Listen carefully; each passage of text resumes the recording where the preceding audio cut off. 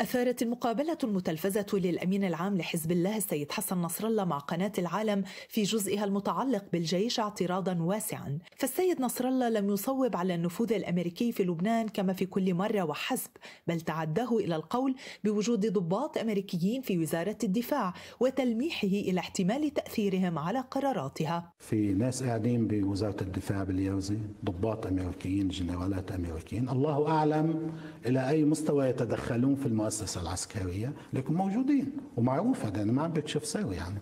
ففي حين قرأ البعض في كلام الأمين العام هجوما على المؤسسة العسكرية وتخوينا لها وتشكيكا بولائها الوطني أكد البعض الآخر حرص المقاومة على المعادلة الذهبية وتمسكها بها. عندما يكون هناك في مسرح واحد قوتان عسكريتان تتحركان آه، من غير أي اصطدام أو أي تماس أو أي اشتباك بينهما ومن دين ومن غير أي احتكاك فهذا يعني وجود أمرين الأمر الأول الثقة والأمر الثاني التنسيق وهذا أمر قائم بين الجيش والمقاومة والعلاقة ما بين الجيش والمقاومة هي في أفضل حالاتها ولا أعتقد أن هناك تشكيك من المقاومة بموقف الجيش ولا بموقف قيادته. يبدو من أصحاب التصريح أن الثلاثية الذهبية ما بقت عايشة وبدهم يستبدلوها بالثنائية تقتصر على آه، المقاومة والشعب المؤيد للمقاومة.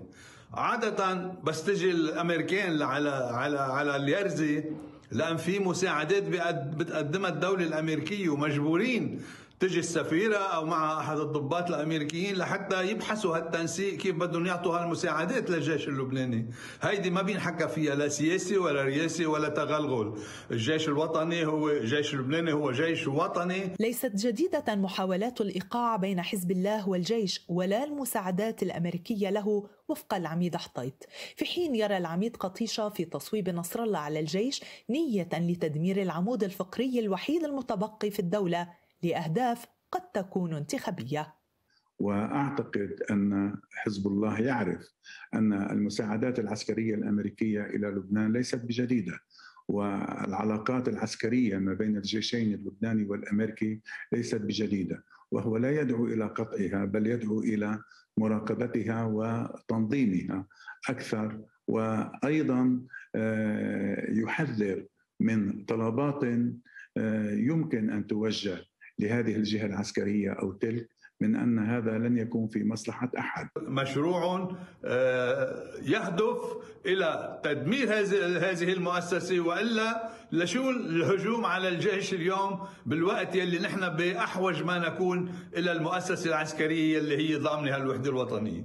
هلأ طبعا قد يكون هناك هدف آخر هو أنه يمكن مشان الانتخابات والرئاسة و و و. قيادة الجيش لم تعلق على كلام نصر الله ولا حتى رئيس الجمهورية بصفته القائد الأعلى للقوات المسلحة إلا أن معلومات أكدت أن المؤسسة العسكرية تتعاون مع غير دولة في مجال التدريبات والعتاد لا أكثر ولا أقل.